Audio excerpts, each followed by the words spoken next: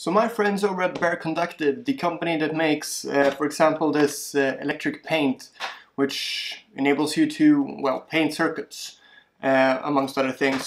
Uh, they make a lot of cool stuff and uh, they were kind enough to uh, send me a few products of theirs to try out. So today we're gonna have a look at their um, electric paint lamp kit.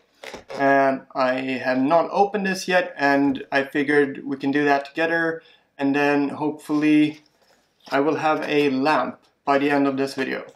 As paint sensors, twist board into place, fold templates and turn on. But let's open it up, try it out and, and, and, and see what happens. Um,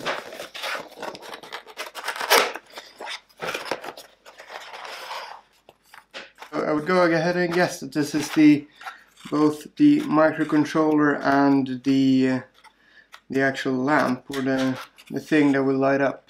So it's a very neat little microcontroller here with uh, um, six inputs um, uh, and six, is that six? Six LEDs.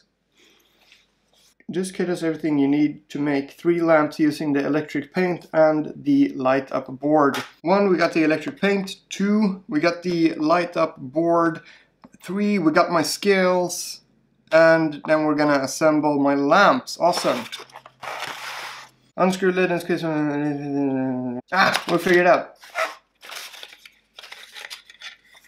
Connect power and wait for LEDs to stop spinning. Touch each. Uh, got a cable. Ah!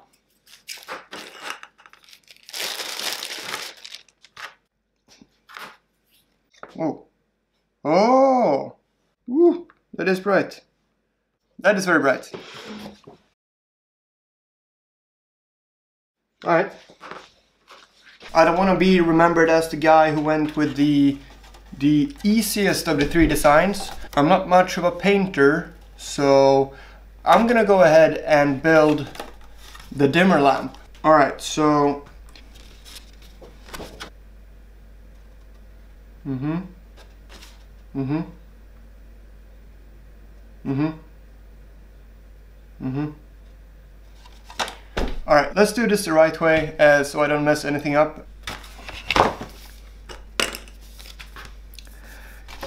Instruction test sheet. P practice your painting skill. Follow the warm-up exercise to familiar yourself with electric paint. Ah! Ah! Ah! Alright. Okay, practice your twisting skills. I have I have no twist prior twisting skills, so uh, this is probably for the best. Your light up board on the right, use the PWR USB socket as a reference. Alright, twist the board clockwise. Uh, not too shabby on the first try. Mm.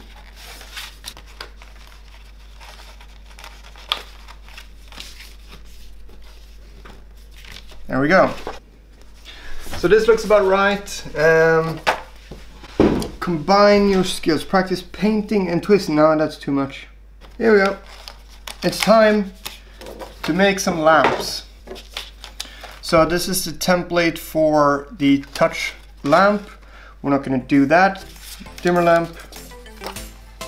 Dimmer lamp this is what we'll be focusing on, uh, the dimmer lamp project.